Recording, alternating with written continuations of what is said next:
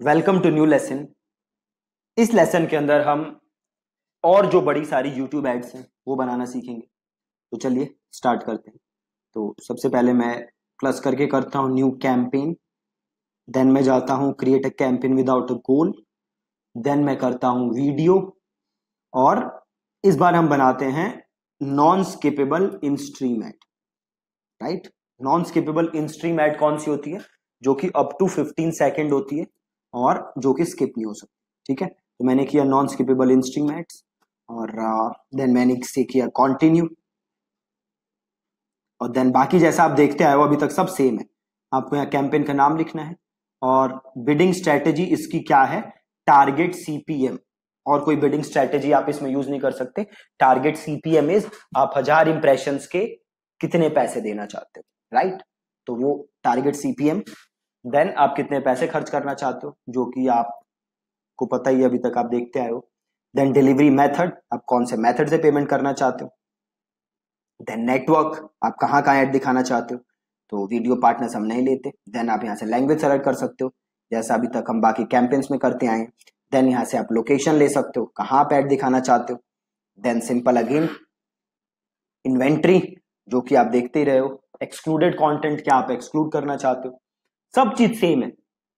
कोई भी चीज़ अलग नहीं है। देखो सेलेक्टिव ऑप्टिमाइजेशन भी सेम है डिवाइसेस भी सेम है फ्रीक्वेंसी कैपिंग सेम है एड शेड्यूल सेम है एड ग्रुप नाम सेम है, आपकी टारगेटिंग भी सेम है। डेमोग्राफिक वगैरह जो भी आप लेना चाहते हो ले सकते हो।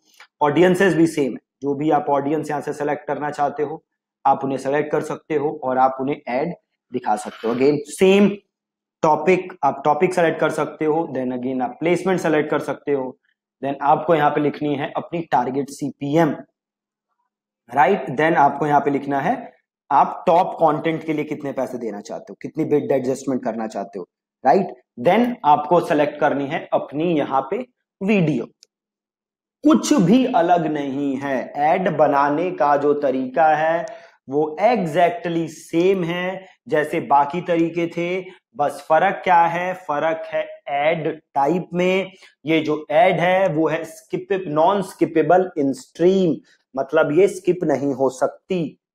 पहले वाली एड कौन सी थी? इन स्ट्रीम स्किपेबल बस ये फ़र्क है। और कोई भी फ़र्क दोनों एड्स के अंदर नहीं है। बहुत ही ज़्यादा सिंपल है। ठीक है? तो ये आप इस तरीके से ये वाली एड बना सकते हो। अगर मैं इसको अब क्लोज करूँ और मैं वापस जाऊँ न्यू कैंपेन में, वापस जाऊँ न्यू कैंपेन में create a campaign without a goal करूँ और मैं यहाँ पे जाऊँ वीडियो पे और इस बार मैं लेता हूँ आउटस्ट्रीम एड आउटस्ट्रीम एड कौन सी होती है? तो आउटस्ट्रीम एड वो हो सक, होती है जो फ़ोन और टैबलेट पे नज़र आती है।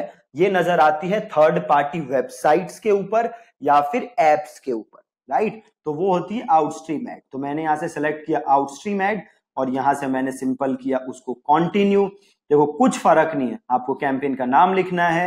यहाँ पे बिडिंग बाय डिफ़ॉल्ट कौन सी है? व्यूएबल सीपीएम ठीक है कि हज़ार बार आपकी एड लोगों को दिखे, उसके लिए क्या पैसे देना चाहते देन अगेन सिंपल आपको अपना बजट लिखना है नेटवर्क सेलेक्ट करना है। देखो, ये नेटवर्क भी बाद में अगे अगेन बाय डिफ़ॉल्ट सेलेक्टेड है वो क्या है?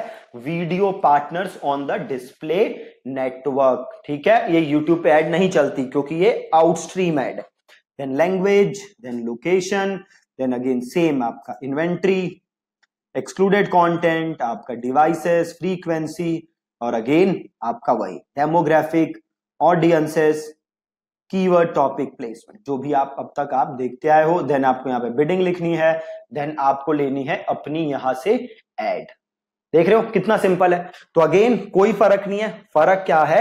एड टाइप में। ये कौन सी एड है? आउटस्ट्रीम मतलब जो कहीं बाहर दिखेगी। थर्ड पार्टी वेबसाइट्स पे दिखेगी। थर्ड पार्टी एप्स पे दिखेगी। और कोई फ़र्क नहीं है। ठीक है जी? तो इसे भी क्लोज करते हैं। और नई कैंपेन बनाते हैं।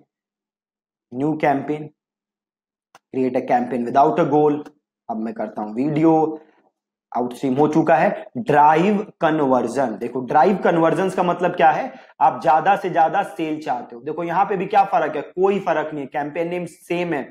जस्ट इसने क्या की? बिडिंग स्ट्रेटेजी चेंज कर दी। बिडिंग स्ट्रेटेजी यहाँ पे देखो दो है। पहला मैक्सिमाइज कन्वर्जन मतलब गूगल से आप क्या चाहते हो कि भैया आपकी कन्वर्जन ज़्यादा से ज़्यादा हो, ज़्यादा से ज़्यादा आपकी सेल आए।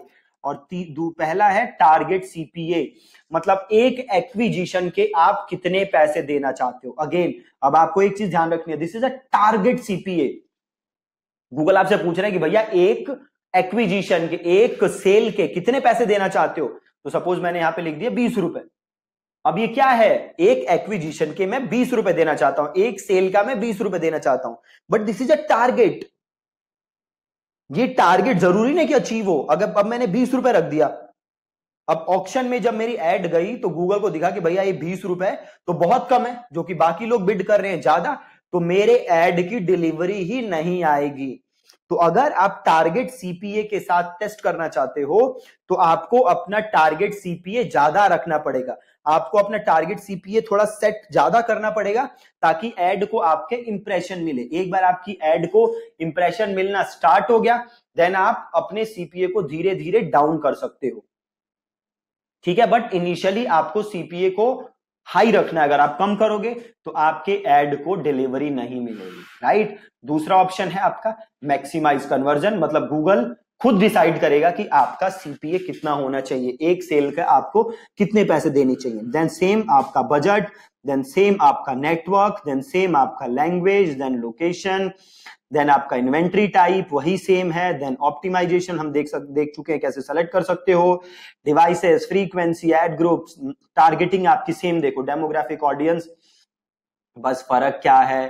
फ़र्क है आपका बिडिंग स्ट्रेटजी के अंदर। और कोई फ़र्क नहीं है एड बनाने में। Right right? तो आप देख सकते हो कि सारी एड्स बनाने का प्रोसेस एक ही होता है। तरीका एक ही होता है गूगल के अंदर। बस बिडिंग चेंज हो रही है और ज़्यादा चीज़ें चेंज नहीं हो रही। मतलब जो बेसिक्स हैं, वही नाइनटी परसेंट आर बेसिक्स अगर आप बस इस पे फोकस करोगे तो ज़्यादा फ़र्क नहीं पड़ेगा। राइट तो आप यहाँ से वो देख सकते हो। प्लस अगेन अब मैं दोबारा जाता हूँ न्यू कैंपेन के ऊपर। Create a campaign without a goal अब मैं जाता हूँ से दोबारा वीडियो के ऊपर। और देखो शॉपिंग एड सीक्वेंस में आपको कल के लेसन में समझाऊँगा, क्योंकि इसमें थोड़ी सी ज़्यादा चीज़ें हैं जो आपको समझनी पड़ेंगी। शॉपिंग अगेन जब हम शॉपिंग एड्स पढ़ेंगे, तब मैं आपको ये शॉपिंग वाला समझाता हूँ। राइट तो आप देख सकते हो, सारी एड्स एक ही तरीके से बनती हैं।